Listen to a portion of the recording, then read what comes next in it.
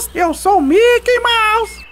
Vocês querem saber no candidato ficha suja que eu vou votar? Tá bom, aqui vai! Eu vou votar no. Hahaha, eu não voto em candidato ficha suja. O meu candidato é ficha limpa. Eu vou dizer pra vocês: 23, 1, 2, 3. Repitam comigo: 23, 1, 2, 3. Everaldo Nunes! O meu candidato é ficha limpa. Os meus amigos vão votar nele. Você vai, Pato? Ah, já vai! Margarida? Eu também! Pateta! Lógico. Ei, Pluto! Vou, vou. Mini! Eu também!